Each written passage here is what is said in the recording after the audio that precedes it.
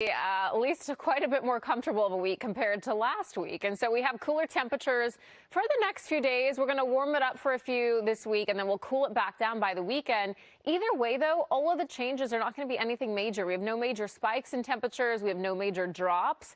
And so we're going to stay in this cooler range compared to where we have been recently. So that will be a nice welcome change for a lot of us.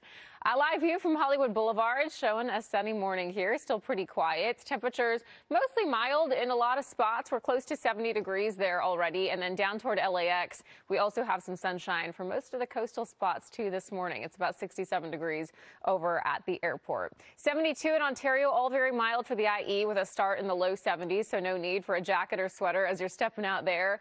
Low 60s we had in some spots, but we're starting to warm it up already in Pasadena, where it's about 68. Woodland Hills, 69 degrees. Ojai still on the cooler side, though, with some low 60s.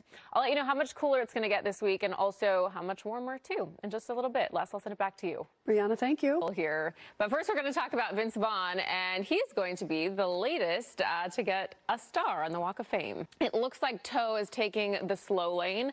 It's right at Euclid Avenue on the 60 westbound, where we have that one lane that's blocked off due to an accident that happened earlier. Car flipped over, it went into 110 connectors, and everything is moving smoothly here for now. John, Rachel, I'll send it back to you. Brianna, thank you. Just a little bit. For now, John, Rachel, I'll send it back to you. All right, Brianna. That's there.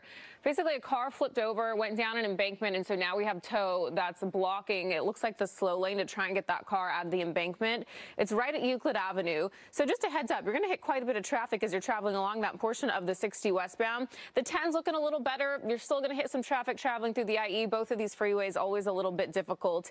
Uh, and on a Monday morning, on top of it, you have some side streets, though, like Philadelphia to take to try and get around some of it, but we'll keep you posted. Hopefully it clears sometime soon. Scott Rife up in Arizona, terrible, but we are seeing it get a little busier out there, and we do have a problem spot in an area. That's always a problem spot. Uh, it's over in a You're aware the drive through Corona is a little more difficult than usual, and so it's moving pretty slowly at the moment. John, Leslie, Rachel, I'll send it back to you. All right, Brianna, thanks. Back to school if you're back to school today, and if you're starting this week, it's going to be a great one because we have much cooler temperatures in store. We also have full sunshine over into Malibu, so it's a really beautiful start here.